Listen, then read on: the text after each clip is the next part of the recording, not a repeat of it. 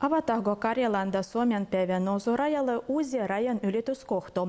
Suomen uusi hallitus tahtoo Parikkalan rajan ylityskohto suos kansainvälisen statusan. Sitä vuotetaan jo pitkän aikaa. Nyky Parikkalas rajaspoikki vietetään enemmän puutavaroa. Yksittäisiä masinoja ei lasketa. Sihniskoi pidausuoja erikosluba. Suomen uusi hallitus haluaa sujuvoittaa Suomen ja Venäjän välistä liikennettä. Se selvittää mahdollisuutta avata Etelä-Karjalassa sijaitseva Parikkalan rajanylityspaikka kansainvälisellä liikenteellä. Parikkalan rajanylityspaikka sijaitsee Syväorossa. Se tunnetaan myös nimellä kolmikanta. Tällä hetkellä se on niin sanottu tilapäinen rajanylityspaikka. Sen kautta kulkee pääasiassa puutavararekkoja, joten rajan ylittäneet ihmisetkin ovat suurimmaksi osaksi rekkakuskeja. Viime vuonna Parikkalassa rajan ylitti 2800 henkilöä, mikä on murtoosa esimerkiksi noin 100 kilometrin päässä olevan Lappeenrannan Nuijamaan raja-asemaan verrattuna. Nuijamaalla rajan ylityksiä oli viime vuonna reilut 2,2 miljoonaa. Tavallisella viisumilla Parikkalasta Venäjälle ei pääse, vaan ylitykseen tulee olla erikoislupa.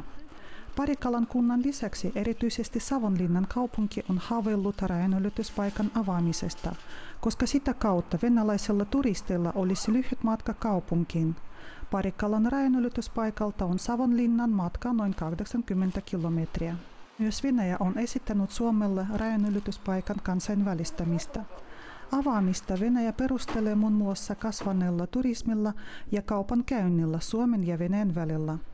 Parikkalan raja-aseman kehittäminen edellyttäisi kuitenkin reilun 22 miljoonan euron investointia.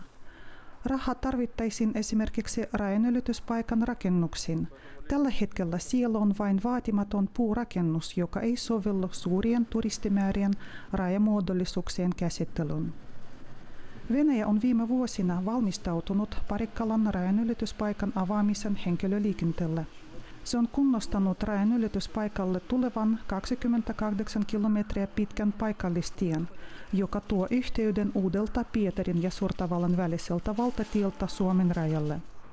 Myös Etelä-Karjalassa ja Etelä-Savossa on toivottu uuden kansainvälisen rajanylityspaikan avaamista Parikkalaan.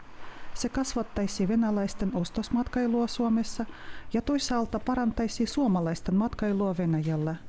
Matkat muun muassa Laatokan rannalle ja Suurtavalaan lyhenisivät merkittävästi.